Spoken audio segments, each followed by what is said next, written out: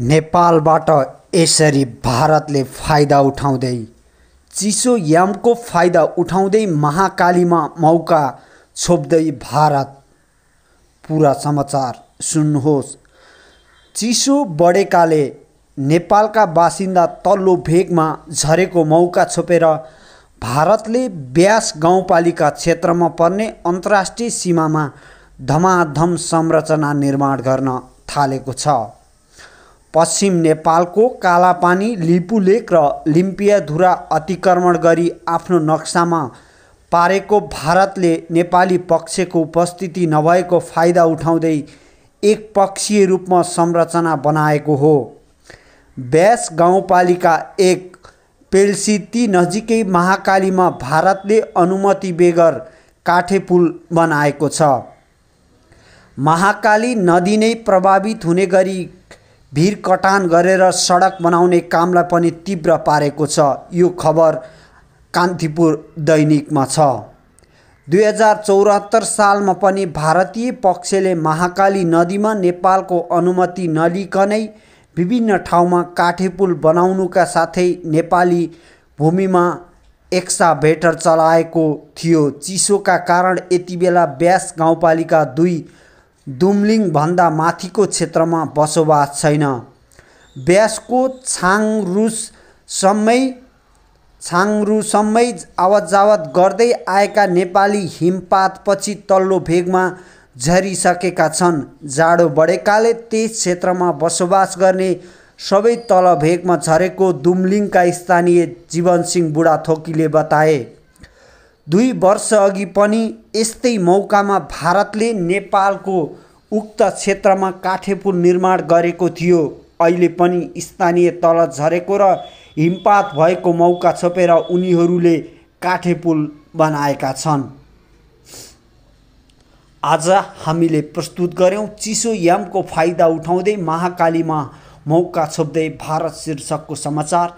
तपाईँहरूलाई के कस्तो लाग्यो आफ्नो प्रतिक्रिया दिनुहोस् र खबर बुलेटिन टिभीलाई सब्सक्राइब गरी साथमा रहेको बेल आइकनलाई पनि थिचिदिनुहोस्। यहाँको पल शुभ बितोस् शुभ पल। नेपालबाट यसरी भारतले फाइदा उठाउँदै चिसो यामको फाइदा उठाउँदै महाकालीमा मौका छोप्दै भारत। पुरा समाचार सुन्नुहोस्। चिसो बढेकाले नेपालका बासिन्दा तल्लो भेगमा झरेको मौका छोपेर भारतले ब्यास गाउँपालिका क्षेत्रमा पर्ने अन्तर्राष्ट्रिय सीमामा धमाधम संरचना निर्माण गर्न थालेको छ। पश्चिम नेपालको कालापानी लिपुलेक र लिम्पियाधुरा अतिक्रमण गरी आफ्नो नक्सामा पारेको भारतले नेपाली पक्षको उपस्थिति नभएको फाइदा उठाउँदै एक पक्षीय रूपमा संरचना बनाएको हो। ब्यास गाउँपालिका एक पेल्सिती नजिकै महाकालीमा भारतले अनुमति बेगर काठे पुल बनाएको छ। महाकाली नदी नै प्रभावित हुने गरी भिर कटान गरेर सडक बनाउने कामलाई पनि तीव्र पारेको छ। यो खबर कान्तिपुर दैनिकमा छ। दुई हजार चौरात्तर सालमा पनि भारतीय पक्षले महाकाली नदीमा नेपालको अनुमति नलिकनै विभिन्न ठाउँमा काठे पुल बनाउनुका साथै नेपाली भूमिमा एक्साभेटर चलाएको थियो। चिसोका कारण यति बेला ब्यास गाउँपालिका दुई दुम्लिङभन्दा माथिको क्षेत्रमा बसोबास छैन। ब्यासको छाङरुसम्मै छाङरुसम्मै आवत जावत गर्दै आएका नेपाली हिमपातपछि तल्लो भेगमा झरिसकेका छन्। जाडो बढेकाले त्यस क्षेत्रमा बसोबास गर्ने सबै तल भेगमा झरेको दुम्लिङका स्थानीय जीवनसिंह बुढाथोकीले बताए। दुई वर्षअघि पनि यस्तै मौकामा भारतले नेपालको उक्त क्षेत्रमा काठेपुल निर्माण गरेको थियो। अहिले पनि स्थानीय तल झरेको र हिमपात भएको मौका छोपेर उनीहरूले काठे पुल बनाएका छन्।